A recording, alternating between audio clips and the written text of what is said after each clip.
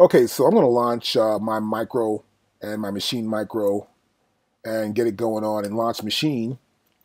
And then I'm going to do one thing you always do is check for updates. You got to know what's up. You never know hey, what's up. Get the update, find out what's happening, what's up.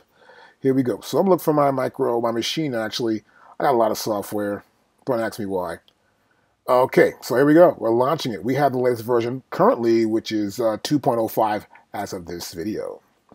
And now I'm going to launch help, which was right here launched to the help center. No need for that though. I actually already did that to save time, make it easier. Here are a bunch of updates. They tell you what's updated, what you need to update. I can go to here to click in for the download.